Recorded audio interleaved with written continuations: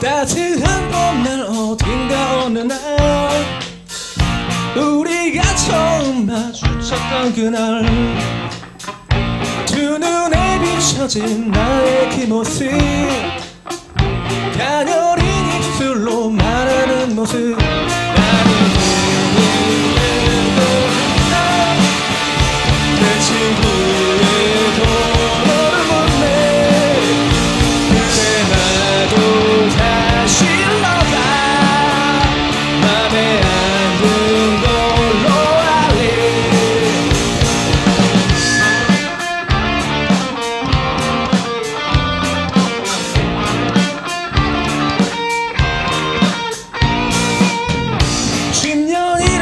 시간이 또 지나고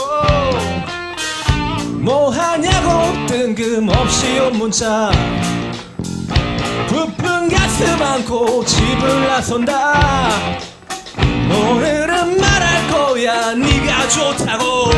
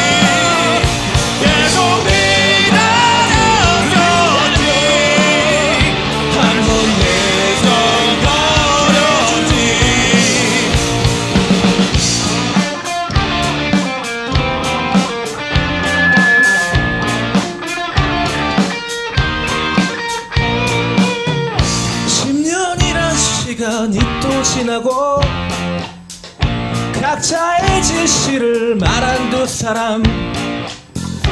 그때 미처 알지 못했던 순간. 아, 진짜 좀 말하지. 감사합니다